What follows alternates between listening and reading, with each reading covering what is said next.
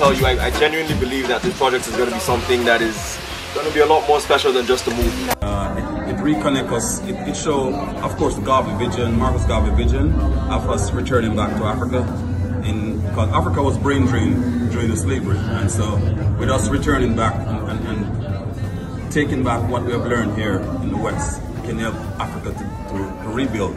And Ghana is also is a very interested place because of the, a lot of a lot of our ancestors came from Ghana because 400 years since the end of slavery is something that connects all black people around the world, regardless of whether you still have origins from the continent, whether you've been to the continent, whether you are from the continent. I think it, it still connects um, all of us somehow. And it's a time for us to redefine who we are as, as black people. And uh, I suppose this movie is, is, is a step to find that out. We see like we see the same kind of trees and plants that we have in Barbados and some of the food is similar, it's just called something else. So that is what we need to like learn. That's why we need to learn more about each other because we have so much stuff in common. All that parts us is the water.